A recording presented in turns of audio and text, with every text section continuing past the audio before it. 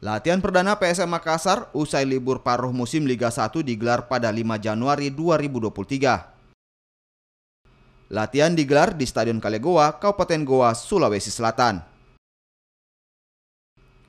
Pada latihan tersebut terdapat tujuh pemain akademi yang ikut trial bersama skuad senior PSM.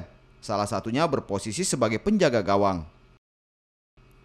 Pemanggilan para pemain akademi PSM ini membuka peluangnya untuk didaftarkan di putaran kedua Liga 1.